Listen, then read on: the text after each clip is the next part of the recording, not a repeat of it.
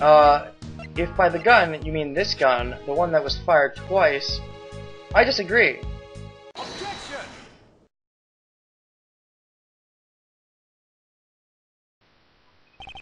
So you shot the balloon and Miss Swift shot a rook. Is that really true? I can't see it any other way. The gun we discovered in the trash was fired twice. The number of gunshots don't add up. what an expression. Why don't the gunshots add up? It's simple. This gun is fake evidence, left behind by the real criminal. Fake evidence? Think about it. The criminal planted this for a reason. By finding the gun, we assumed the assassin was in the audience. In order to make us believe that the gun was used by the assassin, the gun needed to appear as if it had been fired twice. I get it, because two shots were fired during the incident. However, we proved that the bullet that hit the balloon did not come from this gun. Therefore, I have my doubts as to whether this gun also took Rook's life. Here it comes. You're packing some serious heat. Enough with the song and dance. You've come this far. Go ahead and say it. I won't just say it, I'll prove it. The one who really shot Rook is... you. Obviously. Horace Knightley, you murdered Rook. Heh, you finally said it. Knightley, you couldn't have. The killer wasn't the only one who took advantage of the fake assassination plot. You intended to murder Rook and claim he was a victim of the assassination. Once the president had entered the security room and the door to the plane was closed, only the victim and Knightley would have been left in this room. At that moment, you fired a third bullet, directly at Rook. Objection! A third bullet? Ha! Only two gunshots were heard. The numbers don't match up. Objection! The plane's walls are soundproof. If the door was closed, the gunshot would not have been heard outside. But wasn't the president in the next room? That's true. The president may have heard the gunshot. Mr. President, did you hear a gunshot? I didn't hear any gunshots. But weren't you watching this room through the security cameras? The cameras in this room aren't usually turned on. I turned on the power after I entered the security room. So you didn't turn on the power immediately after entering the room? No. Actually, I... What is it? He's not being clear. Mr. President, focus. This is vital. I was... That is... I... Please! I was hiding under the bed, covering my ears. What? But you knew the assassination was fake! It doesn't matter. I simply hate the sound of guns. A terrifying sound. I just can't help it. This is pretty crazy. The president faking his, uh, greatness is one thing, but this is another. That definitely ain't going in my article. Ahem. Knightley, you saw the president hiding under the bed. Furthermore, you could tell if the security cameras had been turned on by looking at the monitors. In that moment, when the president wouldn't hear the gunshot or see the room, he had a chance to fire a third bullet at Rook. Knightley, did you really? You deceived me? Really think I killed that moron? That's cold, Mr. President. Have a little faith in me. The bodyguard who's risking his life to protect you. I want to believe you, I really do, but... I just don't get it. Why are you suspecting me alone? There's still the possibility that she's the killer. This gun is not the murder weapon. The number of missing bullets makes this clear. Maybe it was one short to begin with. Everything of that? What? Maybe it already fired a shot yesterday. Or the day before. And the second shot was fired today. The one that hit Rook. Well, isn't that just a perfect excuse? Excuse? The possibility exists. You can't deny that. He's right. I can't deny it completely. Need decisive evidence. Evidence so decisive that it makes my heart stop and my logic crumble. You got something like that? Grr. Probably not. Mr. Edgeworth, can't you do anything? At this rate, Nicole, well, uh, maybe this is time for a little thief? Maybe, hopefully? I'd really like to do some little thieving.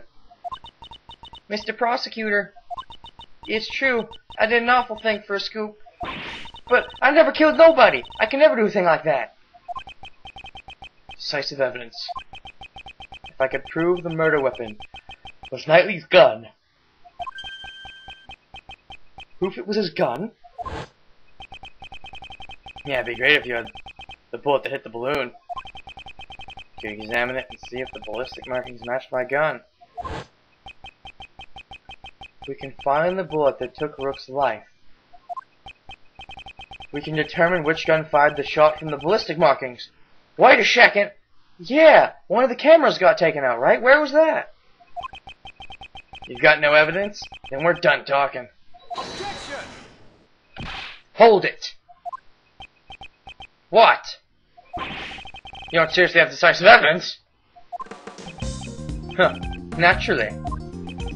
That's a big joke. Well, come on now, show us! What's this still called evidence? The bullet that took Rook's life. That's the decisive evidence I need. This evidence, do I have it? I don't have it. I don't have it. Okay, okay, it's game over, man. However, it is somewhere in this room. What? The bullet that killed Rook pierced through his body. So where did the bullet go? Earlier you explained it like this. Bullet that took Rook's life pierced through his body and then hit the vest. That's right. It'd be dangerous if he hadn't worn that bulletproof vest. However, now that the fake assassination plan has come to light, we know the bullet in the bulletproof vest was prepared earlier. So then, where did the bullet go? Interesting. Very interesting. Do you have the answer? Do I have evidence that shows the location of the bullet killed Mr. Rook? Yes, I do. Yes, I do, good sir. Yippee doo dah day. In this room, there's one thing that clearly is missing. Something missing? You sure it's not your brain? I'd like you to look at the rack of security monitors.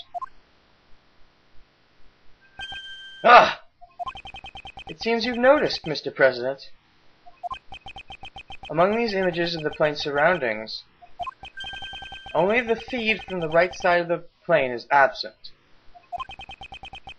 That's what's missing. A single monitor. Yeah.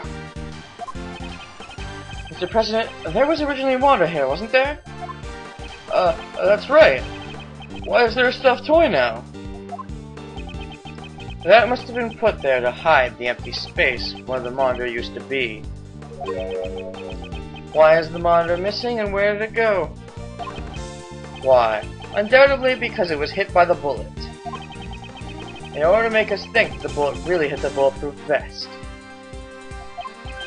It'd be a problem if another bullet hole was discovered. So then, where'd the monitor go? Where? It should be hidden somewhere inside this plane. There hasn't been a chance to dispose of it outside since it was shot. Detective Gumshoe, search the plane. Roger that, sir. President Huang, you said extraterritorial laws apply to this plane. I will allow it. There's no problem. I just want to know the truth of Rook's death. Damn it! You think this is a joke? You're always like this. Rook this, Brooke that. Detective, we have his approval. Go ahead. Now you're just getting pitiful. Stairsworth! I found it, sir! Good work, Detective. Now let's extract the bullet from the monitor. Hmm, if I do this here, and then do that... Got it! Well, it's definitely stained with blood. I'm certain this is the bullet that killed Rook.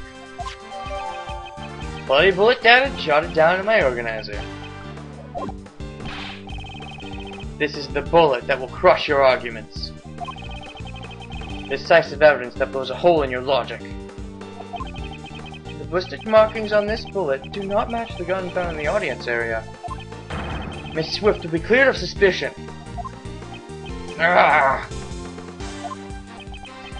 What's wrong? Cat got your tongue? Detective, we need to examine the ballistic markings. Send the gun and bullet to forensics. Roger. Should be able to find clear markings on the bullet, sir.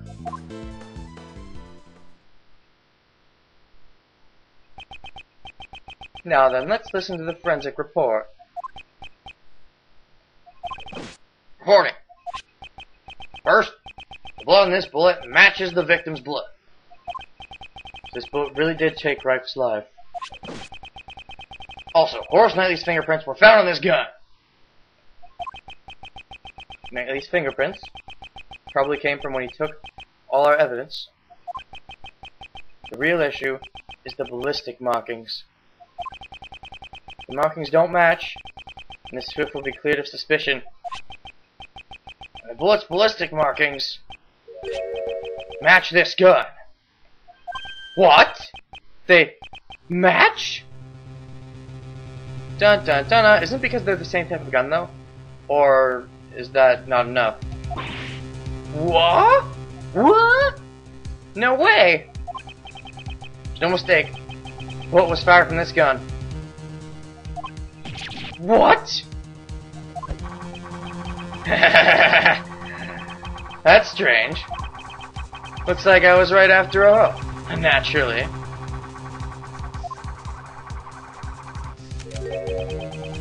Did you really think you had me cornered? You misread the board. The one who's been cornered is you. Alright, let's do this. The ballistic markings match the gun, there can be no doubt. The bullet that killed Rook was fired from the gun you found in the audience area. Who could have used the gun? Not me, because I was on stage. But what about the lady reporter in the audience? All the evidence points to that young lady as the assassin who killed Rook. Well, it's your move, Mr. Prosecutor. Where'd you find this gun again?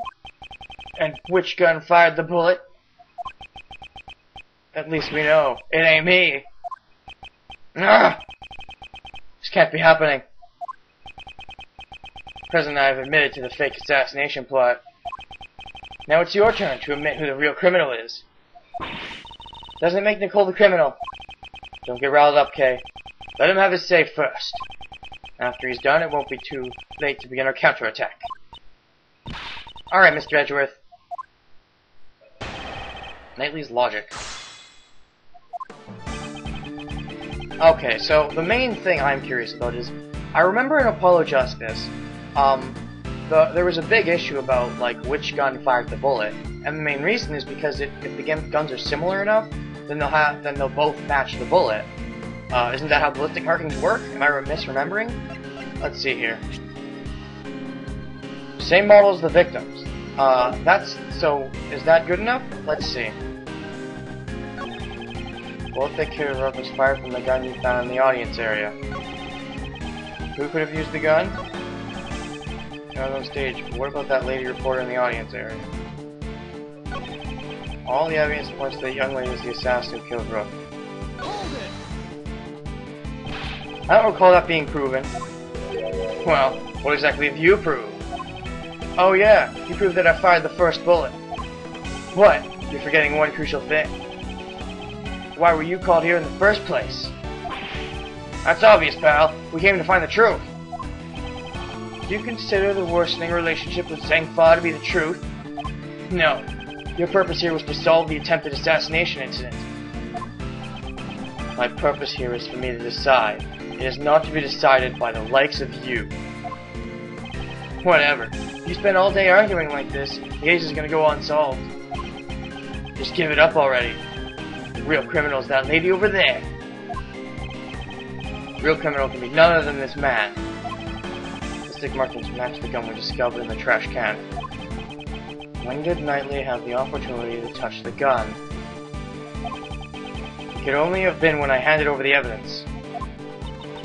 Mr. Edgeworth, is there anything we can do? Reasoning up until now has not been wrong. This is an obstacle we'll have to overcome. But doesn't he have decisive evidence? Testimony born from lies will always contain a contradiction. First, they'll need to press Knightley for more details. Okay, thought so. Then let's keep pressing. No, that's... Objection. Didn't you say it earlier? This is the decisive evidence. You're... Well, how does it feel to have a hole blown through your reasoning? Ballistic markings matched the gun we found, so... Does that mean Nicole really was the shooter? I'd like to believe otherwise. Who's got the decisive evidence on his side, sir? Indeed. How should I proceed? If Miss Swift isn't the killer, then the ballistic markings should not match. Thoughts, Kay? Hmm. If the evidence is impossible, then maybe we should doubt the evidence itself, right? Doubt the evidence? Maybe he planted that bullet? And fired it from that gun? Yeah, he was on the plane. Maybe that's not the real bullet. Nicole's definitely not a criminal. So if the evidence says that she's a criminal, there must be something wrong with it. You seem awfully sure of yourself. It's a great thief's intuition. Intuition? Still, it's quite possible. Above all, Miss Swift doesn't seem like the type of person to tell such elaborate lies. Huh. In court, the evidence is everything. And yet here I am doubting it. Which evidence do I doubt? The bullets. Could there be something strange about the bullet? Detective, did you do anything to the bullet when you first discovered it? Like what, sir? I was thinking maybe he planted that bullet on purpose for us to find it. Like, and that was all part of his scheme. Like, step on it. Okay, so I guess I'm wrong. Alright. Perhaps fall on it. Terrible, sir. You're terrible, Mr. Edgeworth! My ears! Okay, so I'm wrong about that. Even Gumshoe could have bungled it that fast. Which evidence do I doubt? Uh, then I guess it's the gun? Um, but how would the markings match? He wouldn't have had time to plant the gun after he had already... He gave back the evidence! He gave me a different gun! That's it! If anything suspect here, it can only be the gun. The bullet was discovered just a moment ago. It couldn't have been tampered with yet. Did Knightley have a chance to tamper with the gun? Hand over all the evidence you've collected so far. And leave this plane at once. Yeah. And Mr. Prosecutor, be a good boy and do as you're told. I kind of thought he planted the bullet there, but I guess it would be easier to swap guns, which means we have to check it, uh, the gun he's using now. I cannot resist any longer. That's it! He could have tampered with the gun at that time. There's no doubt that this gun is the real murder weapon. In that case, the owner of this gun is... Knightley. He must have switched the guns. Without a doubt, this is Knightley's own gun.